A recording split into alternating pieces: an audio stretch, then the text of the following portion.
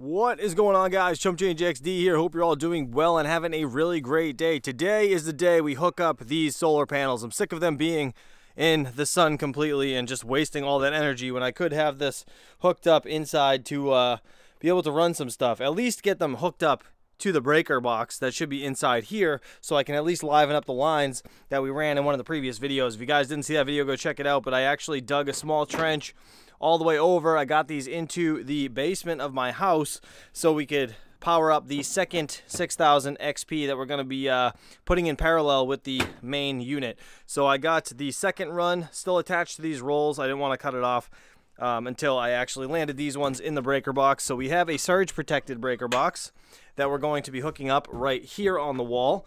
It is this guy. So it's to go right here with a couple 2x6s and we're to get the wires ran from the panels up on the roof down here and hooked up into this guy. So this is to control the power going out obviously to the basement and uh, just a emergency shut off right? And then obviously like I said this is surge protected so it's good to have your panels surge protected. And then I got to uh, ground it and we'll be good to go. So anyways let me get all set up. Let's get this ladder set up so I can get on the roof and we can start running the wires. And uh, yeah I'll get this thing mounted right there on the wall in the meantime. So just before we do that let's hear a quick word from today's video sponsor Crypto Miner Bros is the ultimate destination for all of your crypto mining needs. Founded in 2018, this company specializes in top quality ASIC miners from brands like Bitmain, Goldshell, and many others. Whether you're a newbie or a pro, they offer competitive prices, fast shipping, and easy payment options worldwide. Pay with bank transfer, Bitcoin, or even other cryptocurrencies, no cash needed. The prices you see on their website include taxes, shipping, and DDP to your door, so there are no surprises at checkout. Join tens of thousands of satisfied customers who trust Crypto Miner Bros for their hardware fulfillment, transparent prices, and world class service. Check out CryptoMinerBros.com, link down below. All right, we're all set up, get the ladder situated. I got everything I think I need to be able to complete the hookup on these panels today. So I got all these uh, ends over here. I just have like a random box of electrical stuff for all the solar. Uh, we have some male and female ends in here positive and negative. And then I have the two side boots that I'm going to be putting actually on the side of the shed. Now, I was going to originally put these on the roof, but I guess code compliance is off to the side. So it kind of goes over the edge of the roof and in through the side of the house. So these are going to be sitting like this and the wires are going to loop down and go up into them. Um, that's going to be the plan anyway. So I'll show you guys that when we get there. Obviously, I'm not going to be able to video that, but I will show it once it's all installed. So that is uh, where those are going to go basically backside of the shed there. Up high i mounted the breaker box here so it's perfect height to be able to get at it. And you know in case of an emergency you can shut it off. All i have to do is run the wires obviously from the negative and positive down through the bottom here the bottom plates to connect to the lines that we ran that go over to the house. So i'll be connecting those soon and then we'll be running the uh, lines coming into the unit right into these. And then I have to run a ground from the basically twinning it into where this one ties into or this one doesn't really matter. And we run that through this middle port here and that'll be chasing down as well. And I'll have to put a ground rod outside that I do not have at this current moment but I will get one and we'll get that all situated and good to go. So that's that. Um yeah I think we're in really good shape. So what I want to do now actually I want to show you guys what we got to do. Let's just get up on the roof quick and we will uh, go over how this is all wired as long as I don't fall off this ladder because it's rickety as shit. All right, so the way I hooked these panels up are a little different than the way I did the uh, pergola over there, right? So the pergola, I actually have four panels or eight panels right in a square basically. So four on top, four on bottom. I have those all wired together over at the pergola. This style setup, I actually did a entire string of eight panels on the bottom and then the entire string of eight panels on the top wired that way. Because when the sun comes up it goes over these trees it's actually shading the back half of the shed a little bit longer than it does the front half. So I wanted to make sure the front half was able to receive the most sunlight earlier in the day if that makes sense. So we have a positive or a negative over on this side, you can actually see one. It's kind of terrifying, not gonna lie. See one right here? Okay.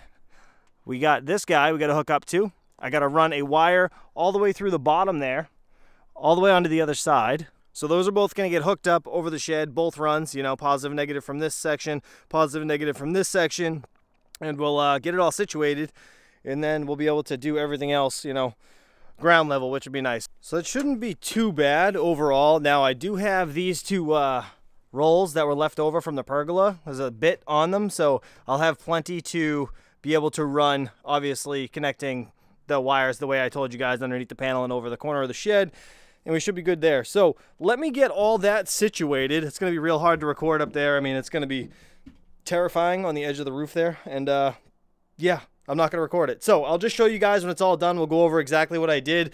Everything should be hooked up to here by the time you see me next. Let's do it. And we're back. Now this is the next day. It's actually been raining all this morning. It actually snowed early this morning, which is crazy. But as you guys can see, we are not hooked up yet. Now, the issue I ran into was these uh, end connectors that I was showing you guys I had. These guys right here, right? This nut barely goes over this wire. This is 8 gauge wire, so I'm assuming these solar connectors are actually the wrong size. So I ordered the proper ones that are good for, uh, you know, X amount of voltage and amperage that are basically enough to cover the amount of uh, solar panels I have up there so everything will be nice and safe running through this breaker box. So unfortunately those aren't going to come for a couple days so I'm kind of stuck dead in the water until then. But either way I got a string of wires here. This is uh, going to the top row of panels. I labeled those number one, and then I have the other ones cut a bit shorter. That is going to be going to the bottom row of panels, and right here, which is going to be labeled number two. Um, so that is that. We're looking pretty good. Let me show you guys around back real quick. All right, so up here, as you guys can see, just climb this ladder real quick. We ended up basically just putting the wires like this for now until I figure out a better method. I'm probably going to zip tie these and make them look all nice, but I have them uh, just through those uh, connections there where basically they're weather tight and nothing will, like bugs won't get in there and obviously water won't get in there either. I still do need to do the siding on this uh, entire shed, so this is fine for now. Again, it's just temporary, and then I just ran all the lines. Let's see if I can get up.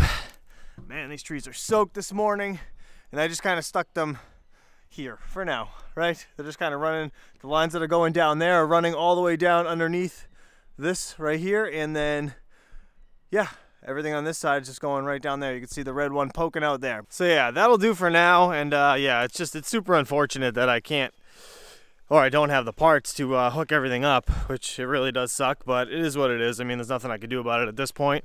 All I can do is hurry up and wait. So that's what we're gonna do. We're gonna wait and we're gonna get everything connected in another video. Um, what I'm going to do now though, is I do need to get these lines still um, through the bottom of the shed. So these ones again are the first run of lines. That's gonna go into the uh, lines that are labeled number one. As you guys know, I already showed you the long ones right here. And then that is the second line that is going to be going to number two, which is going to be on the right side. Um, and yeah, I just need to get those through the bottom here. So let's drill a quick hole and get this all situated and up through the floor.